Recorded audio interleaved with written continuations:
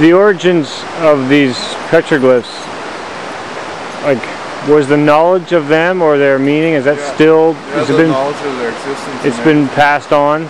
Yeah, but if there was to be anybody that would try to come up here on their own way back in the day, like someone from like Europe or anything, well, they'd be kissing their life goodbye if they tried to come here. Oh yeah? They would be killed even if they tried to make it as far as Taos Gaspar. Wow, that's a big rock. Excuse me for a second. Yeah.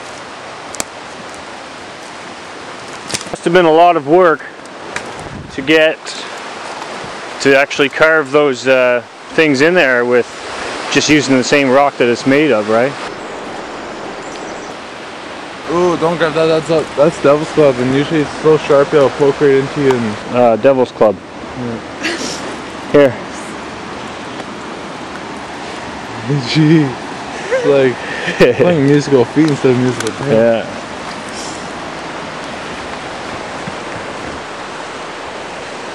Where'd he go?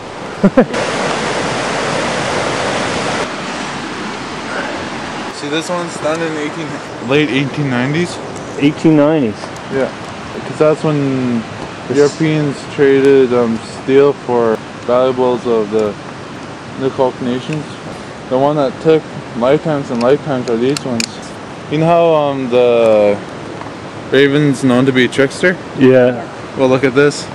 Yeah, that's the raven's head. Ravens are a symbol of power. Okay. Same with frog and all that, but the raven, the only difference is the raven knows how to be a trickster. They fly pretty high above me, but still directly over me. And this place is a is a cold climate rainforest. You guys will probably laugh, but look, we call them star people, and they've been on a lot of other petroglyphs and petrographs and stone carvings. Star people? Yeah, that's what we call aliens.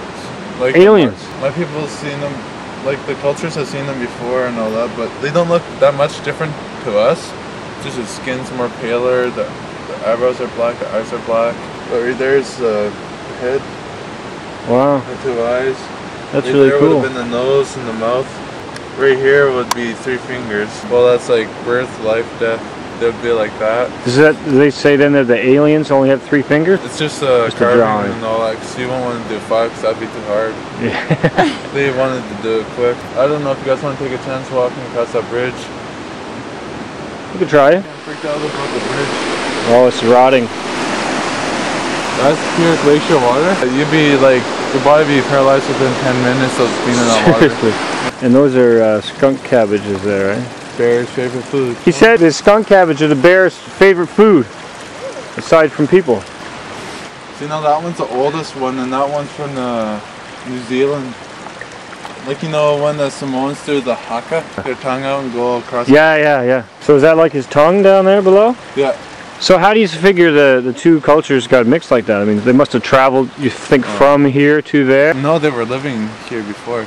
There was a moving island, and all of them hopped on the moving island, and that's where New Zealand is today. Oh. Yeah, so they're originally Canadians. And then right here's a mountain goat. There's the horns right there. So they would see eagles just go up, and so it goes down. You know how fast they could go downhill, down inertia? No. 200 mph. Back around them. What kind of interaction do you suppose they had with the bears back then? I guess, like you said, uh, Ooh, way- mutual respect. way back when? yeah, I mean, there's many. Even before, before even the culture started living in Bella Coola here, yeah. This place was known to be a death valley, and the death valley meant that the grizzly bears would kill any human that would come around here. You couldn't even make it. If you go down the mountain, You couldn't make it without getting eaten by a bear. Yeah, 'cause they run at 16 miles per hour, and they can push over, bet you anything around 3500 or semi. Mosquitoes here, the biggest I've ever seen. If you guys go up the hill again, don't go there. You'll get swarmed by thousands of them. It's like you'd inhale a mouthful if you tried to inhale a breath. And they would paint them too. But to be natural like the berries. And I don't want to explain some of it, how they made the berries, because uh, it's pretty sick. What would they do? Berries and can- urine. Oh, When the sun would shine on there at a perfect time, that's how they knew their surroundings around here. like a sundial compass. And right here's an echo. Echo, you mean the voice? Voice on the echoes and all that. And in the culture, it's uh, supernatural. You know how we're 3D? third dimension. Yeah, They'd be sixth dimension. I see. People don't believe what they don't know about the real life that's in the woods that can move faster than you can even see. Pe- People around here in the culture have been chased by them, supernaturals. What's their call sound like? For a Sasquatch, it sounds like a woman screaming her head off, a baby crying, cat nully meowing, and a dog howling. So is a Sasquatch considered one of these uh, like sixth dimension? They won't show themselves at all to anybody. Like you know how secret societies are? Yeah.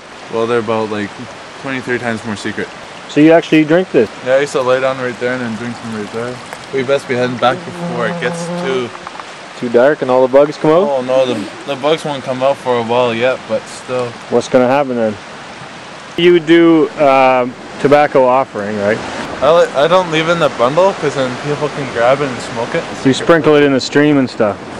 Just bring it on the stream or put it in some place where they can't even get to it. Oh yeah, they won't get down there.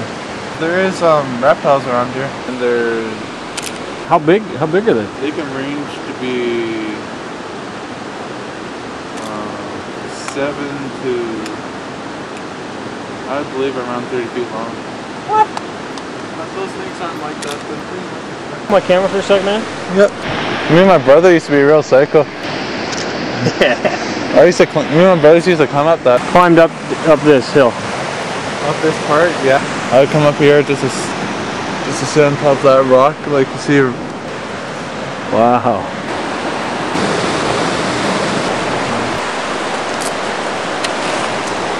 Wow, you jump around here like a cat, man. And What was your name? Nels, Niles? Nels, Nels. Yeah. What's your last name? Harstad. Nels Harstad.